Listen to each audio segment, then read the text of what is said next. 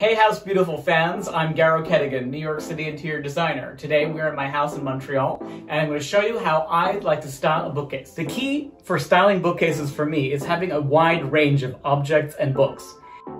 One thing that I recommend you do before you actually do the actual bookcase styling is to lay everything out on the floor. That way you can do a pan view across all the books and then judge by eye, you know, the layout of all the colors and where everything will go.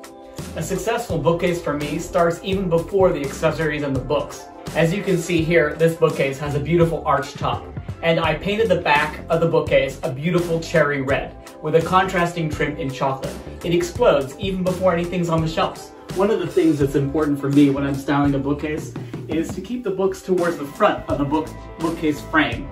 I find that a lot of people make the mistake of tucking things too far back and um, that doesn't help animate the bookcase as much as I'd like. And you should always take a step back and look and see how it's coming along as you're going along. Now, it's important to sort of take a look and see that there is good color balance.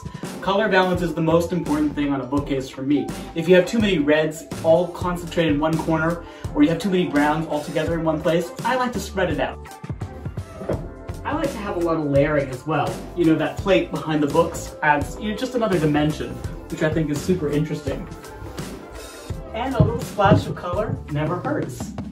Voila! There you go. My bookcase is done. What do you think?